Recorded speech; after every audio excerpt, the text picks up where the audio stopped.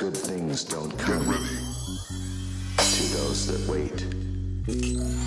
wait.